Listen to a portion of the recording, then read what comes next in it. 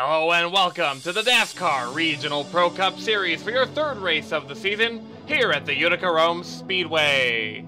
This is our third year in a row coming to this track. It was our is our inaugural race for season one, the first time we came out here. Uh, that was won by PJ Williams. We ran here last year as well. It was one of the Fitzwaters who won. And now someone has a chance to be the third career winner here at the Utica Rome Speedway. It should be a great event. We're running with a slightly shorter field this time, as seven of our drivers have gotten the call to move up to the DASCAR Philips Cup Series. Uh, we don't have a replacement yet for those drivers, but we may uh, starting next race in Irwindale. Let's take a look at the starting order for this race. John Gambit, second pole of the season. Good job for him. Julian D'Artagnan Jr. falling behind, followed by Acevedo, Ormond, Ben Stevens, Colin Bartel, Mitch Brett, Scott Roush, William Duncan. Then there's LJ Toledo, Brandon Jefferson, Tord Larson, Joseph Curtis, Eric Powers, Jerry Lespool, Darren Blake, Matt Duell, Alex Tanker, and Cody Hagan, your top 20. Rounding out the field is Daniel Beauchard, Reina Hirose, and Jeff Toledo. And we had an issue on the start for the 52 of Ben Stevens. He stalled. He's going to bring that car down the pit road. He will not get the start. We have more problems on track. They go four wide in the lead, and William Duncan's around. So is uh, Nathan Ormond. I think another car got on his roof back there. These drivers scramble to make it to the line. We're going to have to take a look at a replay, see what happened. On board with Brandon Jefferson.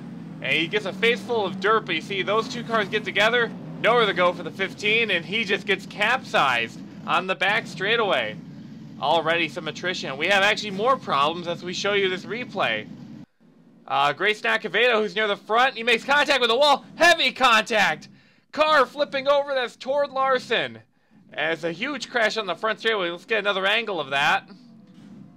And Darren Blake's just going to catapult the 85, and that was an odd flip. He uh, hit the dirt in a weird angle, I want to say.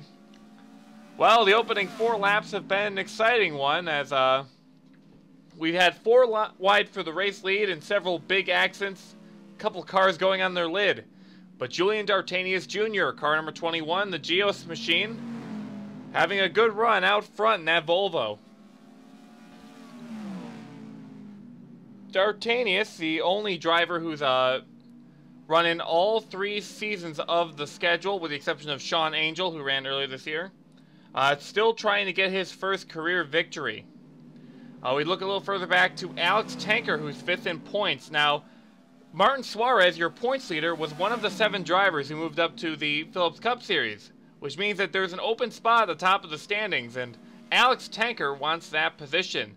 The 08 machine won at Daytona. Didn't have a particularly great run in South Boston. But a top five today could uh, work wonders for the Gravely number 08. And we have a pass for the race lead. It's John Gambit. Car number 13 going to get a good run to the inside line. Eric Powers, the Peruvian, trying to get there as well as he's looking low. That outside line has been very good to these drivers. You can get a lot of momentum out there. That's where the racing line is, and as you can see, they just rocket past the triple six. John Gambit, crossing the start-finish line, leads some laps today.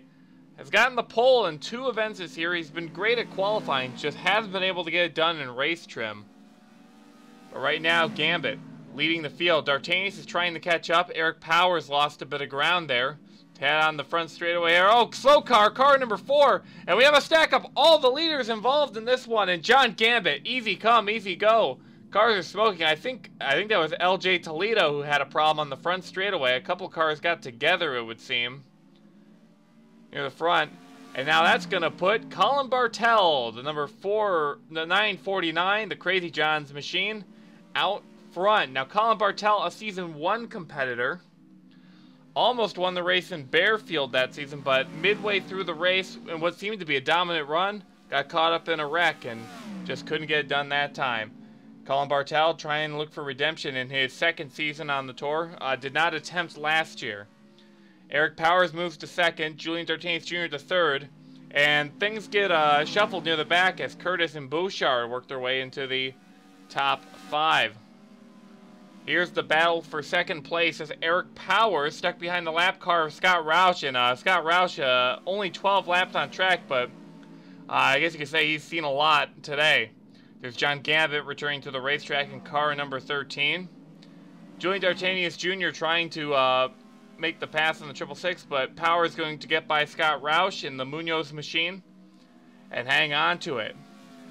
Powers did very well last week in South Boston. His teammate won the race, but now that he's moved up, Eric Powers is hoping to maybe steal some spotlight in this series. We talked about Daniel Beauchard a second ago, but the 71 unsponsored machine, the young Canadian driver, started near the tail end of the field in this event, has worked his way up and avoided all the trouble, and now finds himself in the top five.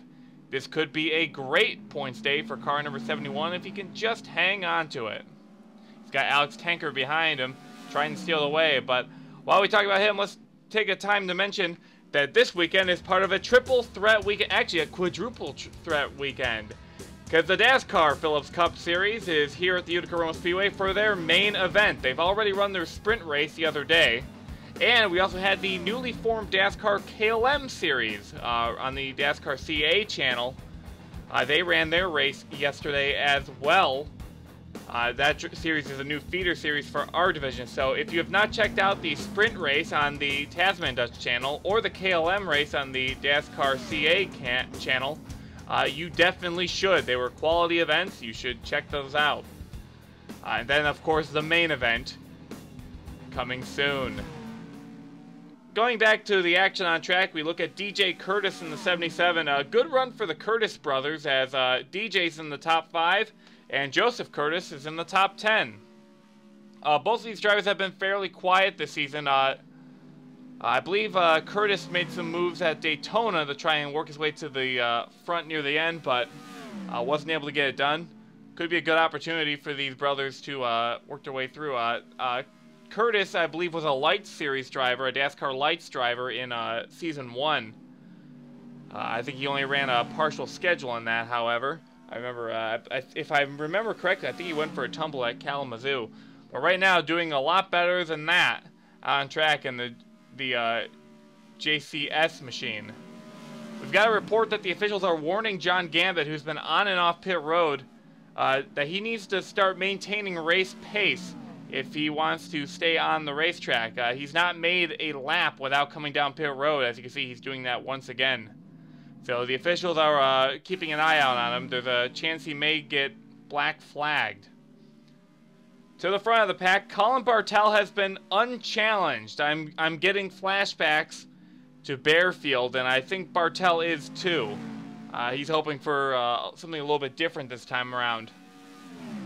But car number 949, working his way around the track. He just has nothing in front of him, nothing behind him. Great job by Colin Bartel. As you can see, uh, ooh, we got some smoke around here. I'm not sure if that was uh, just standard dirt track wear or uh, Oh, it could be uh, John Gambit. Wait, we do have a problem on the track. Uh, showing a replay of it. Looks like Alex Tanker went for a spin in car number 08. Uh, unfortunate for him, he was trying to chase down Bouchard. But uh, looks like he'll have to sell for a little bit lower in the top 10. He's going to lose a lap to Colin Bartel. I think that might have been what that spin was. Oh, we have a report something else happening. Oh, we missed this. Scott Roush and Joseph Curtis make contact, and they both go off track in turn four. That's going to end their days with only a handful of laps to go. Coming near the end of the race, car number 21, Julian D'Artagnan Jr., has reeled in the triple six. He's trying to make the pass for second place. Uh, I'm not sure if either of these drivers are going to have anything for Colin Bartel, especially considering that there's less than 10 drivers left on track. I don't see uh, Bartel being held up by lap traffic anytime soon. But with only a few laps to go, Eric Power is still trying to hold off the number 21 machine. Uh, we've got a report that Gambit has actually been disqualified and he's been black flagged, but he's still trying to drive that car around. I, I think they're arguing with the officials. Oh, we got a pass for position going into the final lap as Daniel Beauchard has caught up to the 77 of DJ Curtis, and that's a pass for fourth place. He's going to use that uh, lap car of Alex Tanker as a push ahead. But coming to the line, Colin Bartel dominated this race, and he will get his first career DASCAR Regional Pro Cup Series victory. Congratulations to Colin Bartel, who's had a pretty quiet season so far. Uh, he really didn't do too well in the previous two outings, so this is going to be a bit of a change of pace for Bartel. So congratulations to Bartel on his win today. Let's take a look at our finishing results. As we mentioned, Colin Bartel wins the race, leads the most laps. Not a bad way to spend your evening. Eric Powers in second, followed by Julian D'Artagnan Jr., who led a couple laps early. Daniel Bouchard and DJ Curtis round out the top five. And Matt Duell, we didn't talk about him much, but a solid sixth place finish for him. Alex Tanker a lap down. And look at all these drivers that are out of the race. Just absolute bedlam on the racetrack today. I believe uh, Les Pool, Toledo, Hirose, and Stevens all had issues out there. Ben Stevens uh, actually was able to get that car fired up after stalling on the pace lap, but uh, ended up getting caught up in something else. We had a hard time keeping track of all the things that happened today. Uh, those were the drivers that ran out the field. Let's take a look at your point standings. Cody Hagan, despite finishing three laps down, top 10 finish for him. He goes to the points lead. Tanker in second, followed by Duell, Duncan, and Powers, your top five. Joseph Curtis and Darren Blake still hanging in there.